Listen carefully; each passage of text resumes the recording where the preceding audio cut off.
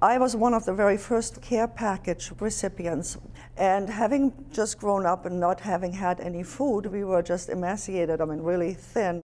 As a young German refugee at the end of World War II, Renata Senter remembers the first care packages of powdered eggs, corned beef, and fruit preserves she received from America.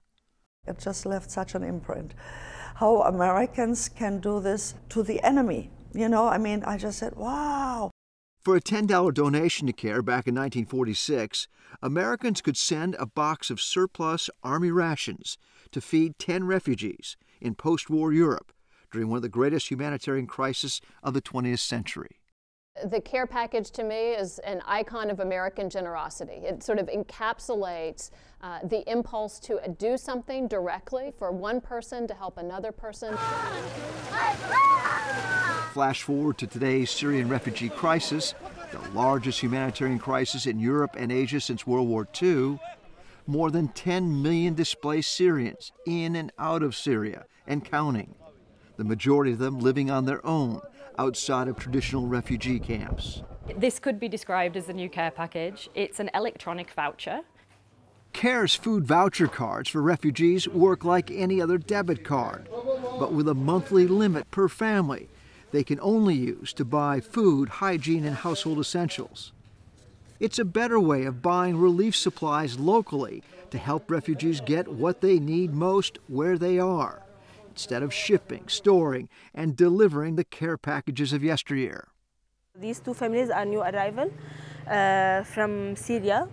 CARE's relief workers in Turkey, many of them Syrian refugees themselves, make sure the voucher cards get to the neediest, like this extended family of 13 living in an abandoned warehouse just across the Turkish border from Syria. Today in Turkey, this voucher is worth about $18 a month per person. That means 60 cents a day for food.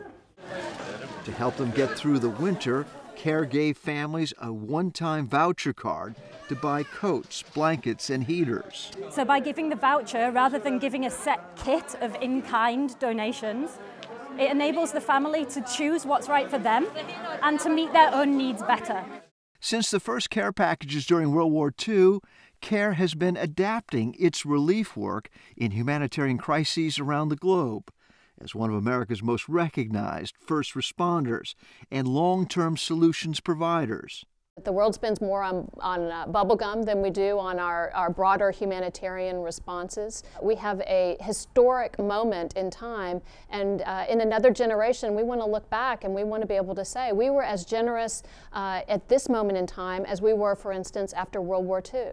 By making it easier and faster for Americans to make online donations to fund these new care packages of food, hygiene kits, and shelter supplies, CARE has been able to help more than a million Syrians in need survive this crisis, now going on its sixth year with no end to the conflict in sight. We want people to understand that they have the capacity to embrace that idea of a care package that is about love, support, empathy, and that that is what CARE is doing in a modern incarnation that is transformational and that is making a difference in people's lives. From the Turkey Syria border, this is Mike Cerre reporting for CARE USA.